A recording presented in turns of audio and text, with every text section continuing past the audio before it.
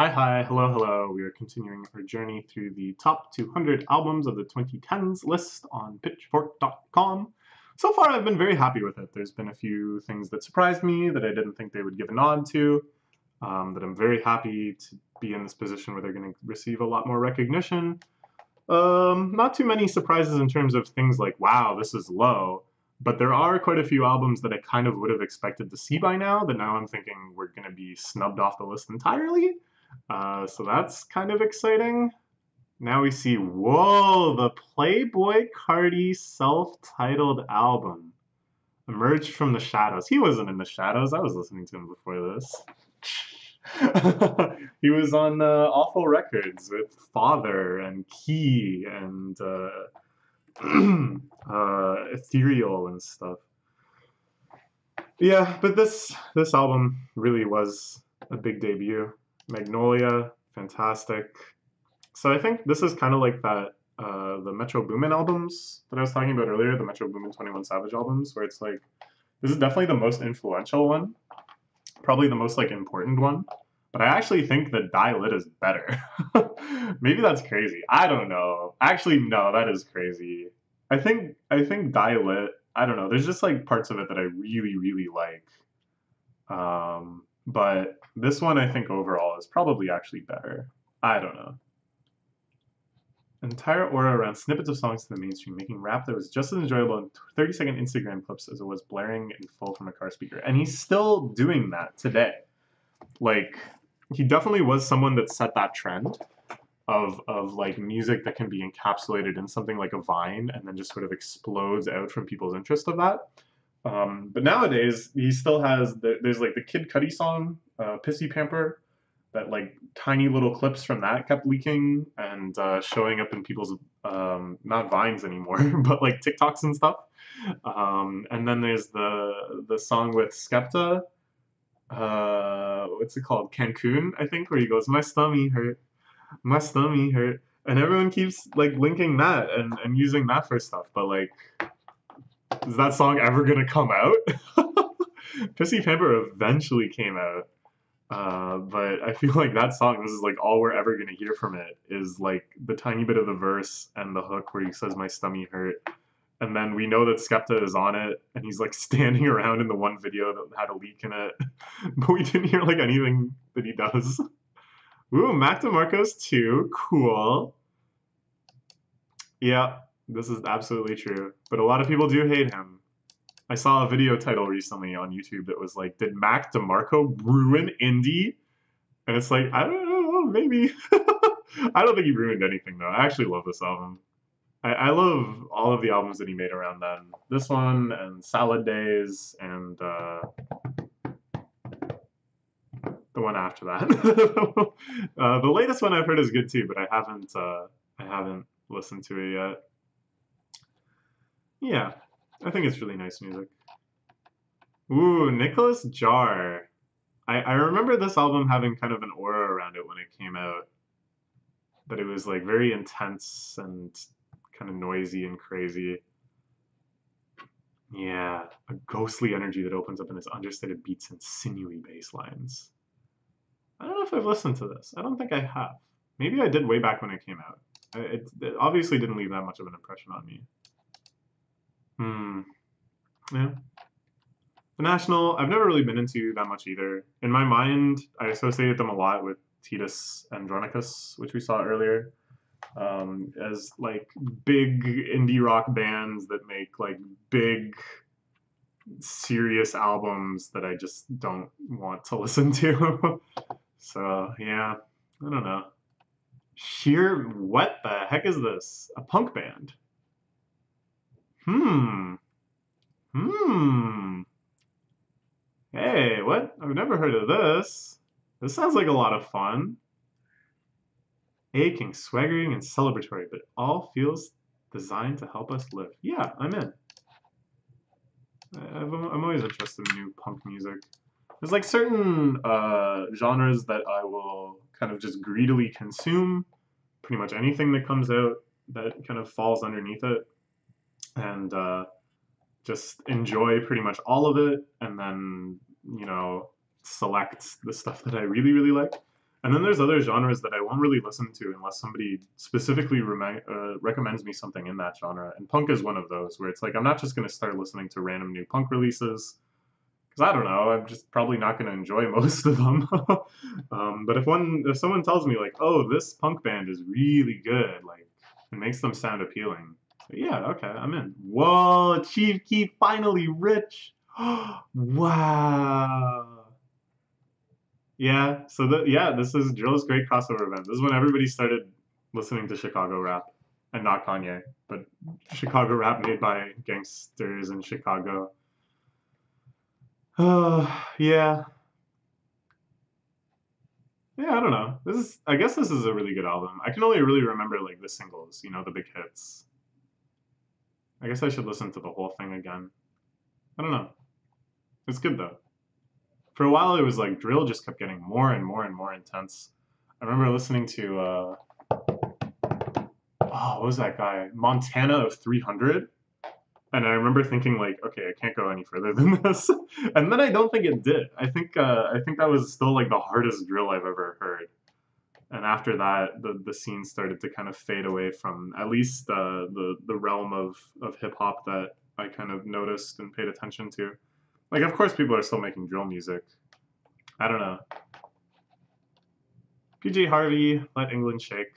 This is an album I have heard praised a lot. Never listened to it.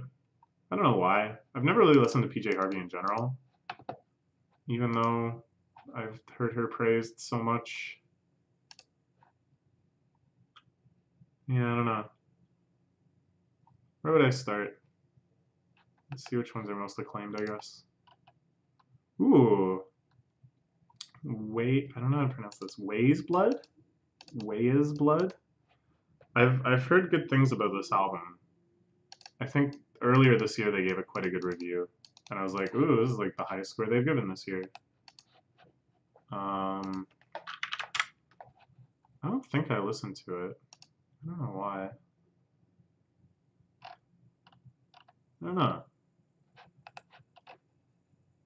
Yeah, this seems alright. Lush 70s pop harmonics. Willowy voice. Oh gosh. Yeah, this this sounds pretty good. I should listen to it. Fennesz's Agora. Hmm.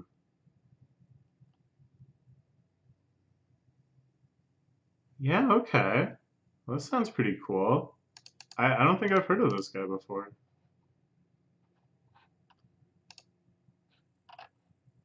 No, I don't recognize like any of these albums.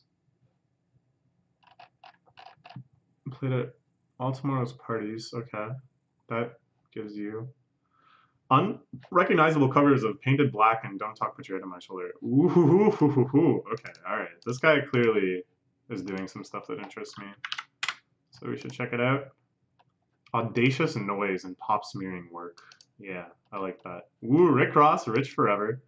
So I'm noticing a trend where a lot of these rappers that really like blew up in this decade and made some like major indelible mark on hip hop.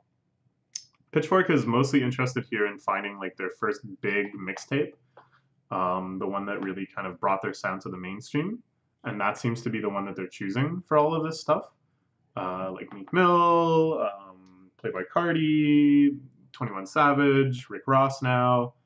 Uh, which was the one we were just looking at? Chief Keef.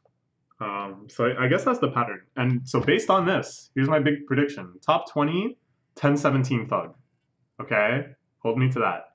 Um, uh, yeah, this, I don't know to me though it's like it's kind of confusing because these rappers i don't typically listen to their full albums um, with like exceptions of course but generally i'll just listen to singles and stuff or i'll listen to the album but then i'll end up listening to just a few tracks off the album so it's like in my mind i'm like okay what are my favorite songs by this rapper and then my favorite album by that rapper is probably the one that just has those songs on it and usually those are songs from like across a bunch of stuff really so it's like I don't know. It's sort of disorienting for me because it's like I can't name a song that's on this album. I only know his later songs, but I know that this is probably like a, a cleaner, truer distillation of his stuff. I don't know. Ooh, DJ Scream hosted. That's so nostalgic for me. And the Maybach music. Parquet Courts, I have never really listened to. I don't know why. It just doesn't seem interesting to me. They're so jaunty, it looks like. I kind of have this issue with Vampire Weekend too, but I have like a soft spot for Vampire Weekend just because of like how I first heard them and stuff. Um, and I saw them live at a festival once, and I really, really liked them. But it's like from a distance, I think Vampire Weekend, I would just be like, Ugh, I don't know about that. And then that's kind of how I feel about this one. So it's kind of unfair. Like, I probably could have been really into this band. Yeah, I don't know. Hyper rational individuals thwarted by modern mania. Oh, I don't know. I guess I can understand that. Hmm. Ooh, Emeralds. Cool. So this was a band I learned about a long, long time ago uh, from an MP3 blog that did mostly noise music. And I remember thinking that this was one of the crazier albums that I had gotten from them. Uh, oh, right. Noise. Yeah, here we go. Uh, I think it was the self-titled. Maybe it was one of these. This sounds kind of oh bullshit boring drone bands. I think I listened to that one because just the name is like so great. Anyways, um, yeah. So I was I was kind of into these guys, and I remember thinking this is like kind of one of the furthest outreaches I've gotten into experimental music. And then I was really surprised. Uh, this album started getting praise everywhere. It got reviewed on Pitchfork. It got really high rankings on their, their list, I'm pretty sure. It might say somewhere here. Uh, they gave it an 8.3. So yeah, they like broke out. They became famous. 36 on top one, and then 139. So yeah, it's they're they're really cool music. Um, very surprising this kind of career trajectory. It's like everybody has bands like that that they knew before they blew up. And it's always a little surreal. And it's always like you, you feel like you should have done something. Somehow should have like invested in this and made money. No well not that but like s- somehow. You should have like invested your taste and then uh, profited via people knowing that you were right. All right i have i'm gonna check this quick. See if we can validate ourselves no not here no, there's no record of me liking them before they blew up. No. Alright, whatever. Alabama Shakes, really?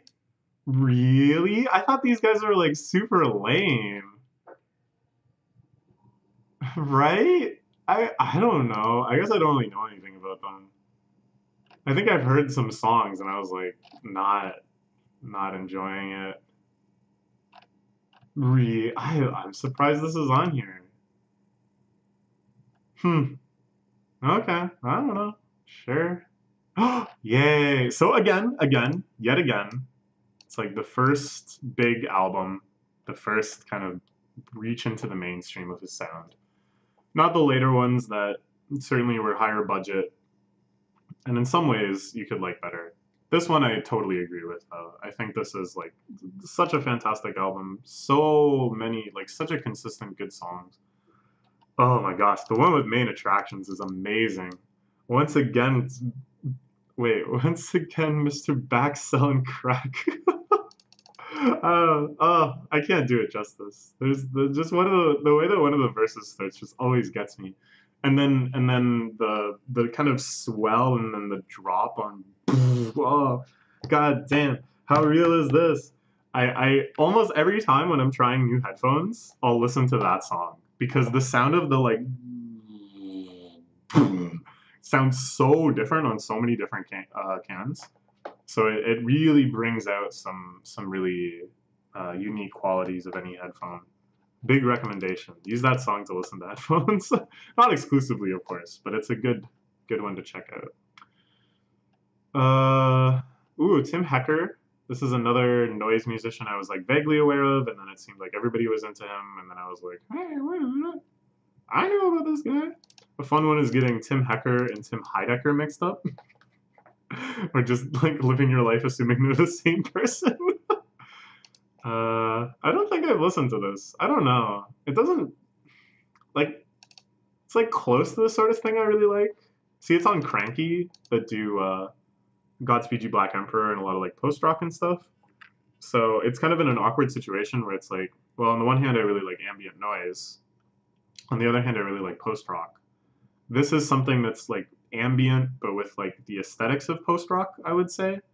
And it kind of hits an awkward spot where I kind of just want one or the other. I don't know. I should give him more of a chance, I guess. I wonder if they'll put uh, Allelujah, Don't Bend, Ascend, the the only modern Godspeed You Black Emperor album that people seem to like on this list. I kind of hope so. Fleet Foxes, sure. I, I think I quite like this album. Um, honestly, though, the the drummer of this, who's Father John Misty, I think I like quite a bit better. um, I'm gonna be a little disappointed if I Love You Honey Bear isn't on here somewhere. I think that album's great. They might like Pure Comedy better. I think a lot of people like Pure Comedy better, but whatever. They they can make mistakes. Um, 83, Hurry Up We're Dreaming, sure. See, I really like Saturdays Equals Youth. I was listening to that a lot actually when this album came out. And then after it came out, I just continued listening to Saturdays Equals Youth. Uh, and not just Saturdays Equals Youth, I also really liked um, Lower Your Eyelids to sync with. What, was it called? Lower. Hmm. Oh, maybe that was the name of a song. Lower Your Eyelids to Die with the Sun was on Before the Dawn Heals Us. I listened to this one a lot too. Um, maybe this one too. Which was the one that had Midnight City? Or is that one of these? I think this has Midnight City. Oh, it is on this one. Ah, yeah, I really like this song. I think this was Pitchfork Song of the Year. Yeah, I don't know. Ooh, I wonder where uh, this is happening will land. So many albums we haven't seen yet. This is one of the first where it's like, oh, I knew this would be somewhere. I just wondered where it would fall. Frankie Cosmos. I never listened to her. Um, I don't know. I don't know why. That sounds like I might really like it. I like the album cover a lot. It's very short. Sure, we'll put it on the list. We haven't put anything on the list in a little while, so. Amen Dunes. What? I don't know what this is. Amen Dunes. No, I have no idea what this is. Who's Damon McMahon? I don't know who any of these... Oh, Snail Mail. I know Snail Mail. So I don't know what the heck's going on here. I guess they like this guy. Okay. Hmm. Yeah. Alright, this is new to me. Um, indie rock, experimental rock, folk rock. Have seen visions of the past. Hmm. A master of the lyrical arched eyebrow. Ah, I, I don't know. Studying psychedelic swells and loops against murky rhythm until the air feels rotten with intuition. Oh, I don't know. Yeah, okay, we'll put it on the list. That sounds like it could be good. But it has to be good. All of these things will not be interesting to me if they're anything less than fantastic. I think this is Run the Jewels, yeah. So this is definitely the lowest ranked album that at one point they gave Album of the Year to. And of course, I think it's really good and all, but I don't know. I guess none of the other ones, neither one nor three, will appear on this list. Hmm. Hey, what? This is well before Me Too. I'm not really sure what this is referring to, but yeah, this is this is a great album. I'm I'm actually surprised it's not higher. I thought they would just put it higher to like maintain their dignity, Because every every uh, 2014 release after this, they're saying we were wrong, we were wrong. But you know, I'm just kidding. Like I actually want them to do that. I'm I'm all for them changing radically what they think of albums between when they come out and when they made this list.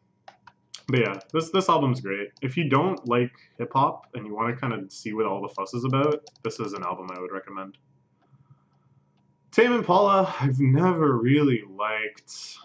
I don't know. It just it doesn't seem interesting to me. It here's what I'm thinking. It's literally Tame Impala, whereas I like Animal Collective. The animals are in charge. It's not an Impala that's been tamed. so uh, to me, these bands are kind of similar, whereas Animal Collective has made like really weird experimental noisy music, especially earlier in their career. Feels like Tame Impala from the start was trying to get on the radio. I don't know. I just don't care. I do like that song that Rihanna covered, though. I like the Rihanna cover. I don't even remember what it's called. And there's the there's like a key change halfway through. Oh, it's so good. Okay, whatever. What? What is this? Whoa, a Chicago footwork compilation.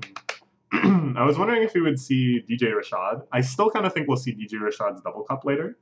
Um, this is such a cool genre. If you've never listened to Footwork, you should check this out. This is probably actually a great thing to check out if you're curious about footwork. I haven't, I was not aware of this compilation, but it looks great. So basically, the idea of the uh, the genre is that it's like all about really intense polyrhythms and kind of this yeah breakneck beats with haunting soul samples uh, just kind of the same appeal that Aphex Twin has for me aspects of it kind of floating ghostly on top of other things that are like very precise and like rhythmic mm. Mwah. um uh, yeah i've been really into rp boo lately dj rashad of course the all-time classic you can also listen to IOSYS the Touhou dojin artists have made some footwork which is kind of fun. Woo! Moon Shaped Pool. Cool. Probably the only Thom Yorke affiliated thing we're going to see on this list. I don't think A King of Limbs is going to make it. Pitchfork has always been not that into that album.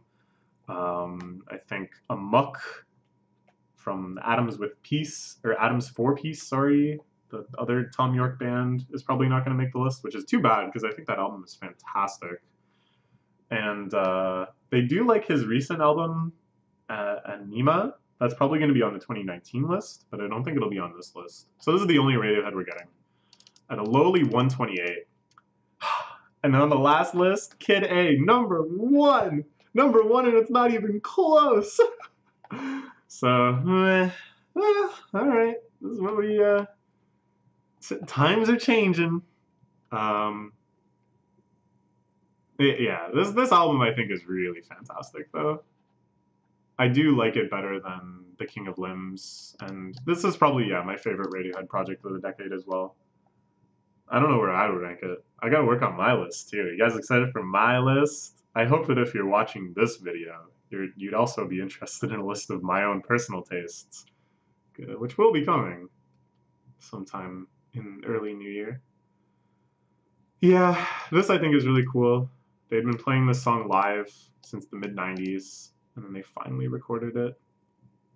And Daydream, oh, such a good song. The music video for this is one of my favorite music videos of all time. Ooh, car seat headrest, Teens of Denial. Not Twin Fantasy? Get out of here. Uh, this the Twin Fantasy album cover, I think, is like one of my favorite album covers ever. So this is a person who was self-releasing stuff, posting their music on the 4chan board Mew, on the 4chan music board. Isn't that cool? Uh, and now has like blown the f up. Re-releasing Twin Fantasy. This was like kind of the breakout one. Uh, this, this album cover, something about it. It's just so perfect. The way it's like only one arm here, the mouth becomes the eye, the tiny little nipples. It's all so good. oh, I never even noticed this. This is just one arm as well, probably. And these hands are like something else. Look, see the internet forms. Yeah, yeah. All right, so that's cool. Uh, anyways, they put Teens of Style, right, or Teens of Denial, on this list instead of that one. That's interesting. Unless Twin Fantasy is going to be even higher. I don't know. I guess I like this one quite a lot. I don't know if I've listened to this one. I just listened to Twin Fantasy. That's like enough. hey! Whoa! I'm, I'm actually surprised to see this here. I thought Pitchfork was always kind of meh about this album because they love Person Pitch. They were so into Person Pitch and they were so into Merriweather Post Pavilion. And this one is like so different. They felt, it seemed like they were a little disappointed. Well, I don't know. That's how I perceived it at the time. Looking back, they probably gave it like an 8 point. Yeah, they gave it an 8.5. And I remember being like, oh, that's so low. Because Person Pitch got like something crazy. 9.4. This is such a good album too. This is like one of the most underrated albums in the whole Animal Collective collective. um, but yeah, actually, I think this album is up there too. This is such a fantastic album. It's definitely gonna be on my list. Uh, yeah, yeah. Woo! So I've been really into this album. I listened to it a ton when I was in Japan earlier this year. It felt like so appropriate walking around Tokyo and listening to this. It's really cool. Uh, I would check it out. Teases of Pop, yeah. I remember talking to uh, one of my cousins about this album, and he's like, "Don't you think that he kind of sings like a pop punk singer?" And ever since then, I haven't been able to get that out of my head. But it actually like makes me like it more. For some reason, it just adds this other like endearing element. But parts of it are so complex and like so noisy. But the way he sings is like so honest, so like unpretentious Oh, I wonder where they'll put Sun Kil Moon. They they Pitchfork really liked Benji when it came out, but then they kind of soured on Sun Kil Moon in general. I haven't listened to this. I don't know. It's just more indie rock, isn't it? Is it? I don't know. I don't even really know what this is.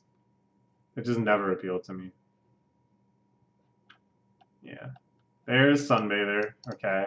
Sunbather at 123. I don't think the other one will appear on this list. I think they liked Sunbather a lot better. To the jargon of black metal and hardcore purists. yes, yes. So my friends who like metal hate this album. My friends who don't like metal sometimes like this album. I didn't even listen to this album. I don't care. It became a big meme on Mew, which I think is probably why I didn't listen to it because I was just like, I don't have time for this.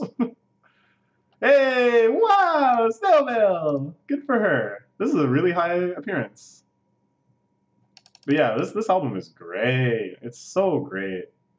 You, you know what I love about it is like I, I listen to like a lot of like lo-fi kind of indie stuff, bedroom pop, and you know their voices are always cracking, and they're always recording takes that aren't perfect and stuff. And it's become like such like like the the the idea of like defying the perfect recording ideology has become such a staple that now the perfect recording sounds like the one where your voice cracks. Um, and this album, only on the very last song, right near the end, her voice cracks like once. And for some reason, it just makes the whole album feel like this beautiful radiant arc that at the very end, she just, it just kind of like collapses just a little bit. Ooh, ooh, it's so good here. Clean, expressive voice which contains a sense of wonder, wonder and boundless curiosity. Yeah. Yeah. Yeah. All right. Good. Good. What the? Oh, this one. This is really popular on Mew. People like spamming this album cover, or at least they did for a while. I never really listened to it. Um, it's way more poppy than I thought it would be. Oh, I don't know. Yeah, I don't know. Like I tried listening to it. Sorry, I didn't listen to the whole thing though. I thought it would be more like uh, American football or something. Flower Boy, nice, nice. This is the first OF appearance on here, but I'm sure we'll get some rap songs some Frank Ocean. This is probably the only Tyler record though. This is such a great record. Good for him, man. As someone who's been listening to Odd Future since uh like the first mixtapes, since the self-titled Earl mixtape, that was like the first one I heard. It's so inspiring to see just how he's like grown as a person and as a musician. How wonderful. Girlpool. I've heard good things about Girlpool. I don't know too much about them. I don't really know what it means. Girlpool. I don't think it's supposed to be like Deadpool. I probably should listen to this though. I, I've never tried. We'll put it on the list. Yeah, this sounds nice. Yeah. Before the World Was Big. I really like that title too. I've, I've always liked the phrase youth of the world and the youth of the world. Um, I, I, I wrote my first novel and called it that. Leonard Cohen, You Want It Darker. This is like the last album he made. Yeah, just weeks before he died at 82. Of course. Yeah. Hmm. Have I listened to this? I don't think I've listened to this. I guess I should. You know, what kind of Canadian am, Canadian am I to not sink into the Leonard Cohen discography? Sure. Woo, the money store. Okay, I wasn't sure if Death Grips would show up on this list. To me, this is like, again, again, it's like they took the one that was like the break into the mainstream. I mean, ex-military kind of had a cult following, but this is after this. Actually, largely, I think because of Fantano giving it a 10. People started talking about Death Grips a lot, and it became a big meme on Mew. And then there was like the uh, No Love Deep Web controversy or excitement, I guess, in general around the you know the penis album cover, and then the long, oft delayed The Powers of the Bee. That whole saga. It all really starts at the Money Store. Like ex-military was just like, oh, this is a cool album, but it didn't seem like it was going to be this whole like saga. Whereas with this, it started things started getting pretty interesting. So for me, this is like one of the worst Death Grips albums, at least of the ones I've heard. I like No Love Deep Web a lot better, and I like The Powers of the Bee better. But whatever. I can understand why this one is so well liked. I think it's the most accessible one. It's like poppy, and the noise elements are conveyed a lot more cinematically, um, instead of like for the sake of noise. You know what I'm saying? Like they're put in such that you're supposed to be on this kind of roller coaster ride of melodicness and abrasiveness instead of uh, what I really like is just like fuck you here's a bunch of noise you know? Um, yeah I don't know it's really good though. Ooh the ArchAndroid. this is an album I probably underappreciate. I should listen to it again. It's it's very bold like such a yeah, like the the crazy storyline, the multi genres, the cinematic flair. Hey, I was just saying that word. I think the way I talk about music is derived primarily from Pitchfork. I'll admit to that. Yeah. US Girls. What? What is this? Hmm. Unabashed pop album that swings on the surface but gets thorny underneath nostalgic styles like disco and glam without aping them. Hmm. Yeah, okay, alright. I don't know. I'd like to hear how good it is.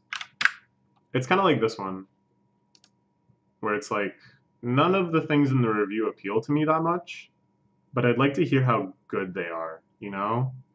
Not because I think I'll be like hooked on this album, but just because it's kind of cool to hear good music. Ooh, I love this album. This was my 2017 album of the year. I I I think this should be higher. Why isn't this higher? This should be top 100 easily. It's so beautiful. It's so beautiful. It just it's like too beautiful. Like it doesn't make sense. And and when you try to like think about it, when you're not listening to it, it's like, nah, it couldn't be that beautiful. And then you just hear his voice for just a second and you're like, oh, wait, wait, I was wrong. I was wrong. I'm so sorry. it reminds me of uh, Solange's A Seat at the Table a lot. A Seat at the Table. Uh, it, it has that same kind of miraculousness where it's like, it can't be possibly this good. Yeah, I see. Uh, those two albums, I think, are comparable. But I feel like that uh, A Seat at the Table is going to be top 10, if not top 5. Poor Sampha in the 110s. Oh well. He, his career is still just taking off. I think his next album will be like an undeniable masterpiece. Japandroids. I've never been into Japandroids. I don't know why. I always thought the name was really stupid. They're from Vancouver. Neither of them are Japanese as far as I know. Meh. Meh. I don't know. Uh, I remember once being in a class in my undergrad and talking to somebody about music. And they're like, "Oh, I'm really into Japandroids," and I was like, "I have no idea what to say to that. Like, I know so little about them, and what I know is like so uninteresting to me." Uh, the conversation just died out, which sucks because you know, like, possibly we liked a lot of the same music. Hmm. Oh, I don't know. Maybe it's good. Woo! I'm glad this is here. I'm really glad this is here. This is an album that nobody could deny loving when it came out. But a lot of people, I think, just for the sake of being contrarian or feeling like they're somehow elevated or something, uh, will now be like, mm, man, it's, it's so cheesy, isn't it? Uh, like, come on, you're laying it on a little thick. And, and sure, they are laying it on, like, extremely thick. But come on, this album is so great. It's so nice. They spend more than a million dollars. It's so slick. It's so well produced. The the insane range of guests. Oh yeah. No, I think it's it's really nice. Yeah, they got Paul Williams on it. Uh, yeah. I'm glad they, they put this on here. It would have been so easy for them to be too cool for it and leave it off, but you know, you gotta recognize. This is such a nice album. Uh, I have a lot of memories associated with it too.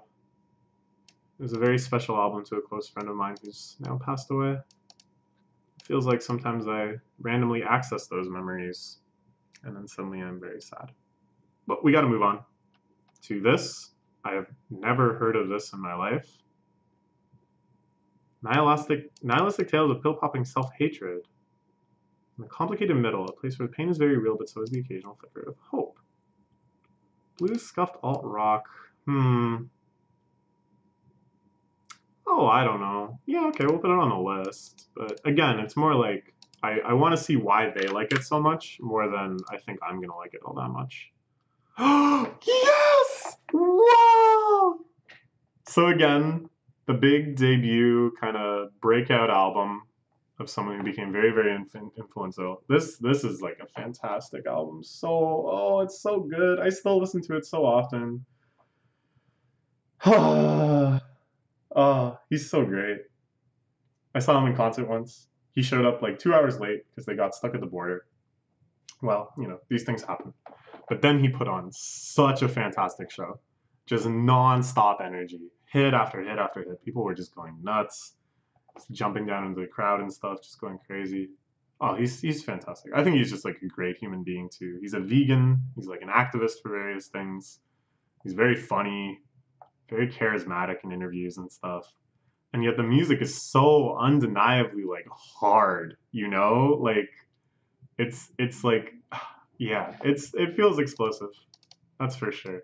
Gunshot adlibs and aggressively escalating synths. This is that Lex Luger production it's still it sounds like Goldeneye on N64. That's what um, Trinidad James said on one song but I don't even think it's produced by Lex Luger, but it's so accurate for Lex Luger music. It just sounds like Goldeneye on N64, but it's so good. Oh my gosh, it's so good. It's true, yeah.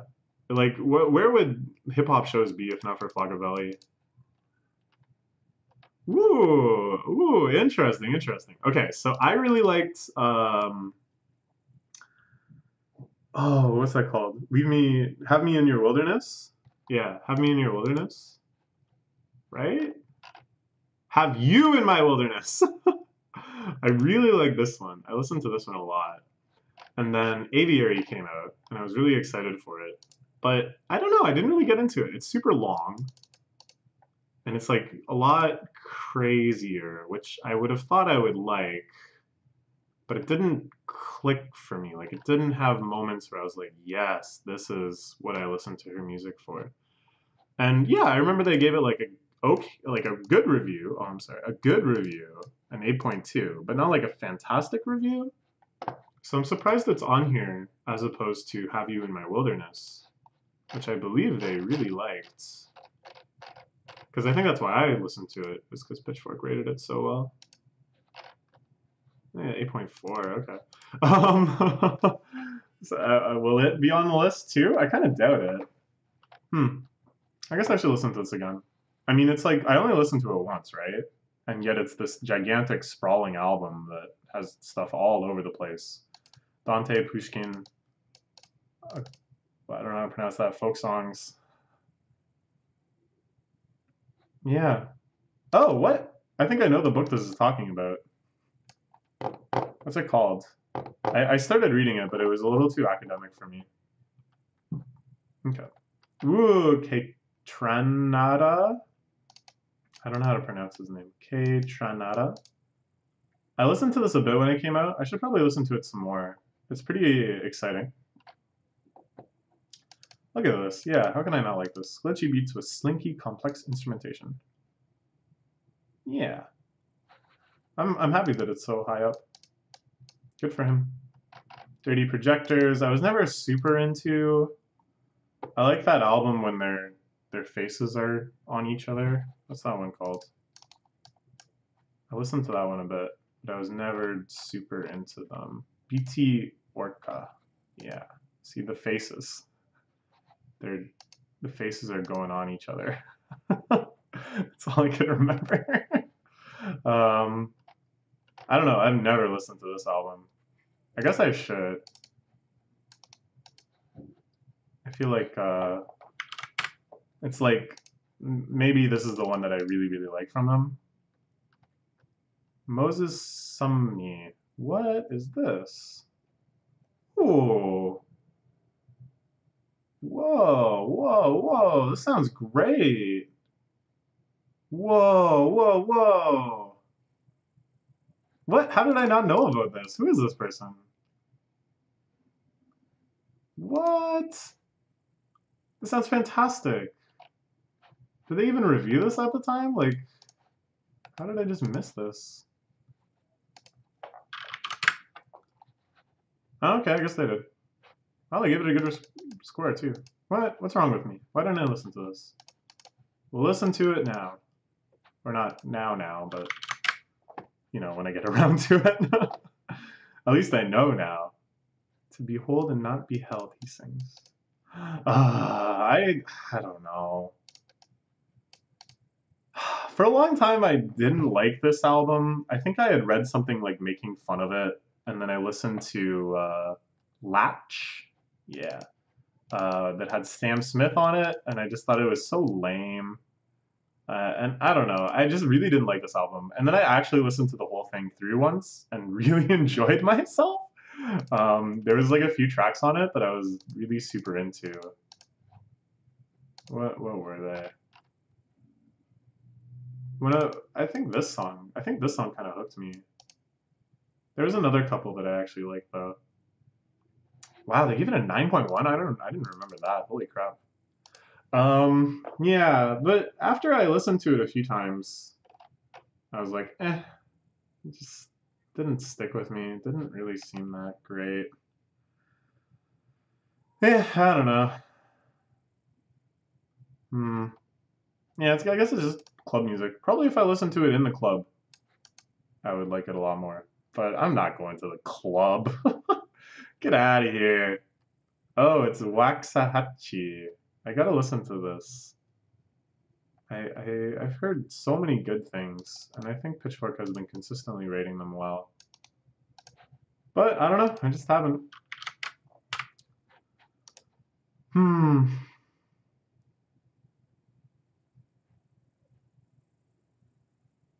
Yeah, okay. That sounds fine. Noisy guitar pop. Yeah, I don't know. It all looks good. What the heck is this?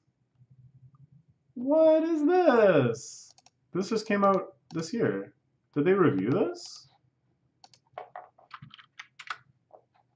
I guess so. What the heck? What is this? The, the album cover just has me so intrigued. Sound tapes as softlit synths. Twilight glow over bilingual meditations on community displacement and loving the skin in which you were born. This sounds wonderful. This sounds really lovely. Vocoders and okay, yeah, we're we're definitely putting this on the list.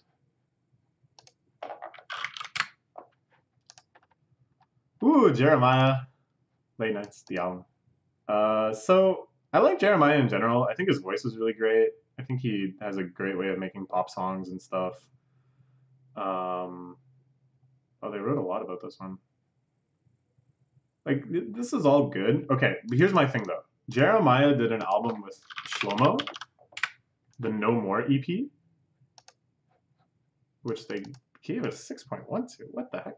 So I think this is like the best work that Jeremiah has done. I think his voice mixed with Shlohmo production is just perfect. Oh my gosh, these pictures of Shlohmo are amazing.